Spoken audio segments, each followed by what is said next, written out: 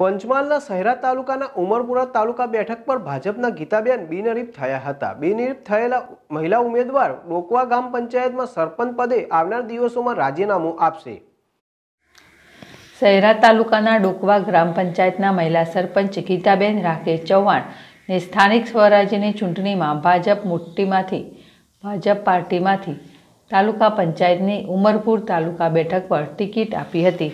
આ બેઠક પર ભાજપ અને કોંગ્રેસ વચ્ચે ખરાખરીનો જંગ જામશે તેમ લાગી રહ્યું હતું.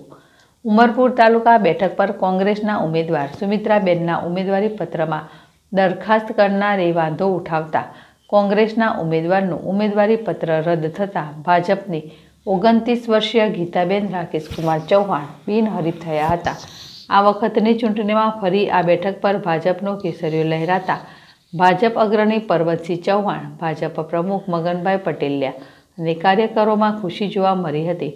ભાજપ અગ્રણીઓએ બિનહરીફ થયેલ ગીતાબેન ચૌહાણને મોં મીઠું કરાવીને અભિનંદન પાઠવ્યા હતા.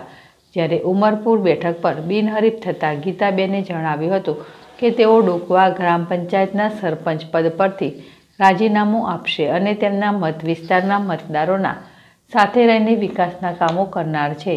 આ વખતની સ્થાનિક સ્વરાજની ચૂંટણીમાં ભાજપ અને કોંગ્રેસ સાથે અપક્ષ પણ ચૂંટણી મેદાનમાં છે. પ્રીતિશ દરજી છે ડેસ ટીવી, પંચમહાલ.